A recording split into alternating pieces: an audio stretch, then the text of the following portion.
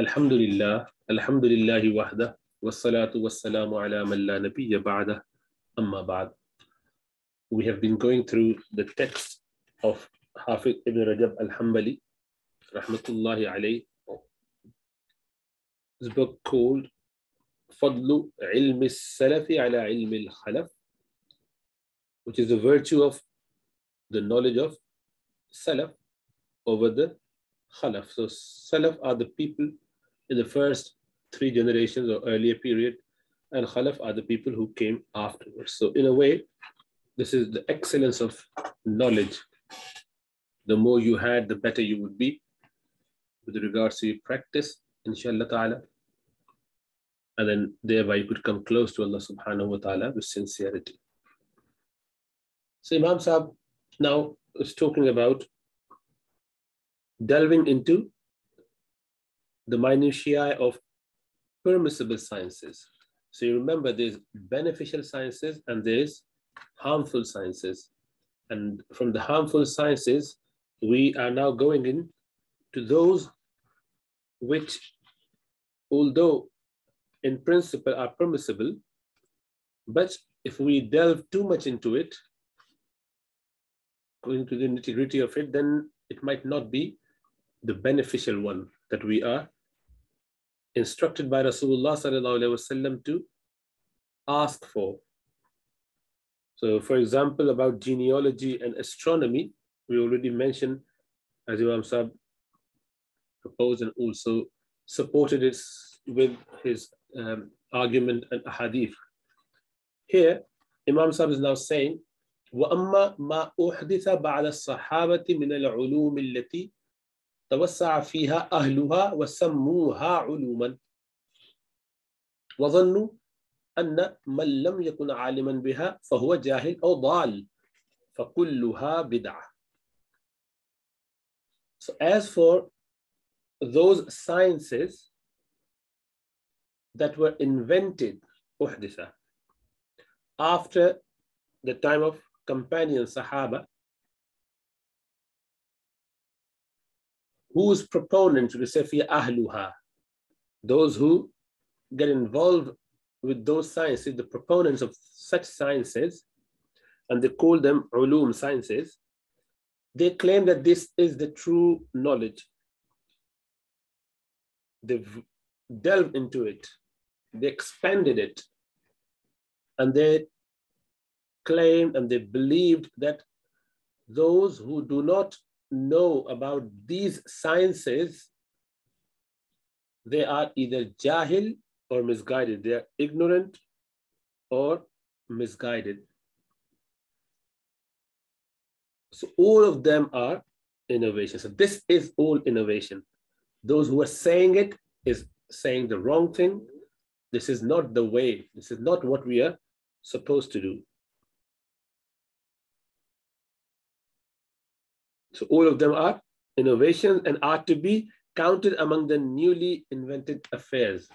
وهي من محدثات الأمور المنهي عنها. These are the newly invented ideas which we have been prohibited against. ومن ذلك and from this is ما أحدثته المعتزلة. معتزلة Mu'tazila, there was a group of deviant Muslims who are called Mu'tazila based on their understanding. Inshallah, in Ilm al-Kalam, you would go through that in, in Aqidah book later on once you've done this basic stuff, inshallah ta'ala. But anyway, so the Mu'tazila, they innovated the discussion min kalamin من الكلام في في القدر about the تقدير about the destination about قدر predestination وضرب الأمثال لله and they're setting up examples analogies and similes for Allah subhanahu wa ta'ala وقد ورد النهي عن الخوض في القدر and it is clear that it is prohibited to delve into qadr into predestination وفي صحيحي ابن حبان والحاكم عن ابن عباس رضي الله تعالى عنهما مرفوعا that in the two Sahih collection, two sound collection of Imam Ibn Hibban and Imam Hakim, like two Sahih collection of uh, sorry, two Sahih collection of Ibn Hibban and Hakim, they both recorded what from عبد الله بن عباس. عن ابن عباس مين؟ عبد الله بن عباس رضي الله تعالى عنهما. مرفوعا which goes all the way back to رسول الله صلى الله عليه وسلم لا يزال أمر هذه الأمة موافيا ومقاربا ما لم يتكلموا في الولدان والقدر. That this nation would continue to be on the steadfast path, straight path, will stay steadfast and balanced so long as they do not discuss about the children and divine decree.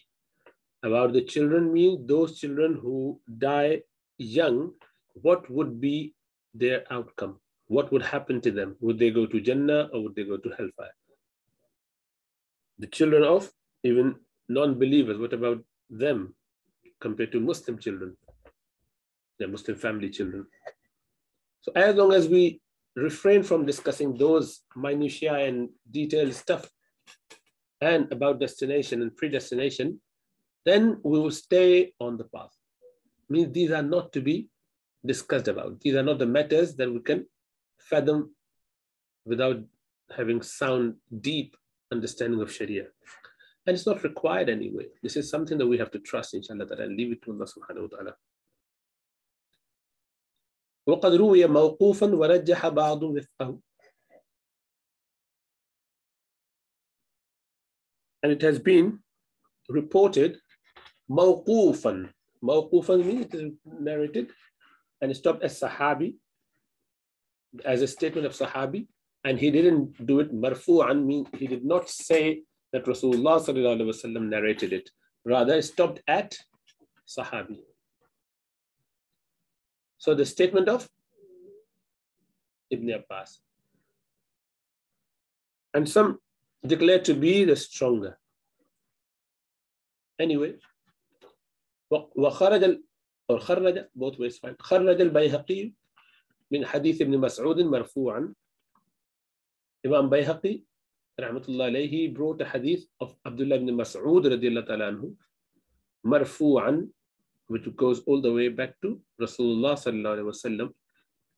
إذا ذكر أصحابي فأمسكوا وإذا ذكر النجوم فأمسكوا.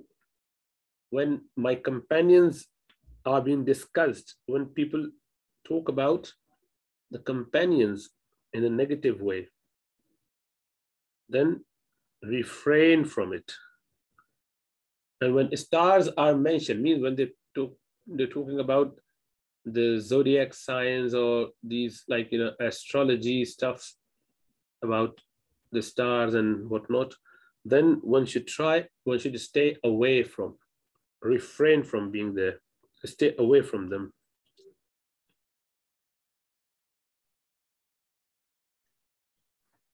وقد روي من وجوه متعددة في أسانيدها مقال This narration has been mentioned from several different variations, from several different reports, all the different routes, yet they all have some weaknesses in them. So the hadith are generally weak, but as you could see, Imam Tabarani in his Mu'jam al-Kabir, Abu Na'im in Hilyatul Awliya, they say it's gharib, strange.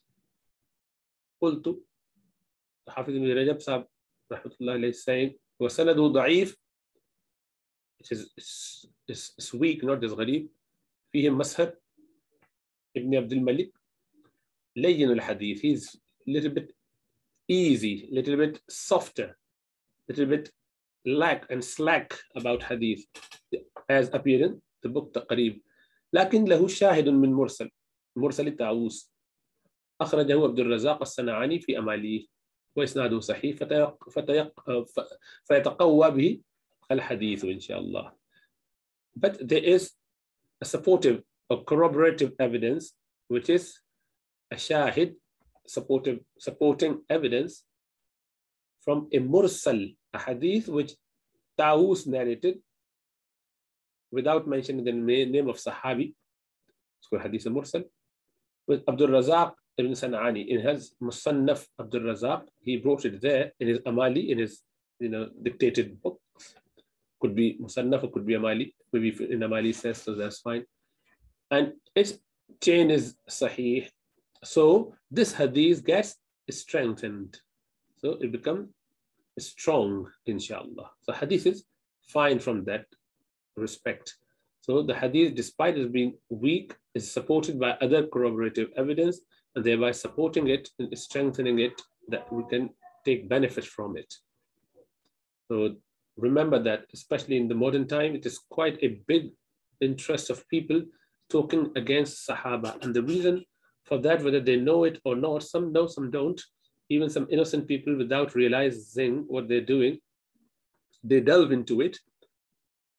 The idea is that disconnect people from the orthodoxy, from the mainstream Islam. And that comes with Quran and Sunnah of Rasulullah. And there are two main you know, chains, main connectors. If you break those two links, all the chain would be broken. The first being the ulama, the laymen, common men could access the chain. So they have got a lot of issues with ulama, whereby even practicing Muslim would not find comfortable or would not find comfort or satisfaction or even, you know, trust in ulama. They would not be happy being with the ulama. Some of them actually go out of their way and start criticizing and going against them. They would rather not have ulama around them. There's some who never met any alim. They just hate them by and large. And that's very bad. And that's that was your first link to the chain of Rasulullah wasallam all the way down here. So they're the heirs of prophets. So that's first thing. And there may be wrong reason and right reason. I'm not talking about that, but I'm saying that practically we have abandoned our most important links to Rasulullah Wasallam's knowledge. And then the final one in between all the ulama, and the final one is Sahaba. So if you could get rid of Na'udhu Billah Sahaba, then everything would just crumble down. The whole building would be collapsing without any trouble at all. So you do not need to do anything. Let them just do this, and this is what they're working on. Some knowingly, as I said, and some even practicing Muslims without realization, they just delve into it and cause more trouble for themselves and for the next generation May Allah save us all from this. And then وروي عن ابن عباس رضي الله تعالى عنهما أنه قال لميمون ميمون ابن مهران and this is narrated from Ibn Abbas رضي الله تعالى عنهما that he said to Maimun, his student Maimun, Maimun ibn Mihran, إياك والنظر في في النجوم إياك والنظر في النجوم فإنها تدعو إلى الكهانة Be aware of researching into the stars for they effectuate fortune telling. They make you delve into fortune telling. They literally attract you. They call you. فإن تدعو it calls you إلى الكهانة towards fortune telling. وإياك والقدر فإنه يدعو إلى الزندقة. And be aware of talking about predestination. Because this discussion would invite you towards زندقة, heresy. وإياك وشتم أحد من أصحاب محمد صلى الله عليه وسلم. And be aware of abusing and swearing at any of the any one of the sahab sahaba of Rasulullah صلى الله عليه وسلم. فيكبك الله فيكبك الله في النار على وجهك. Otherwise, Allah subhanahu wa ta'ala would throw you face first in the fire, on your face, straight down. وخرجه أبو نعيم مرفوعا ولا يصح رفعه ولا يصح رفعه Abu Nu'aym al-Asbahani in his book Al-Hilya perhaps brought this hadith but he did not say that the hadith is sahih. Anyway, might be weak but at least it has got some substance to it with regards to understanding. So may give us tawfiq. So we need to be very careful about our knowledge, where we are getting from, who we are getting it from, and what subjects. It's not about what you feel like doing, rather what would be beneficial. So may Allah give us tawfiq, inshallah ta'ala. Okay, let's go on to tafsir